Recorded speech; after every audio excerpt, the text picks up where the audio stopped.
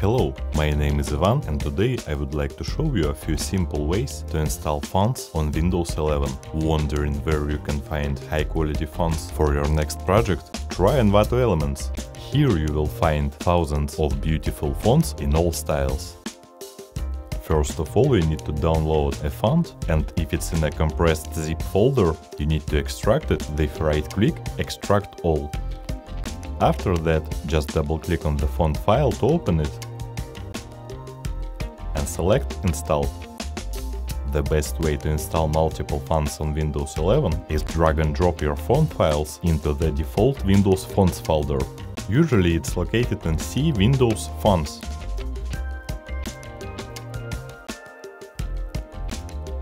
If you need to delete it, just select the font in this folder and hit delete.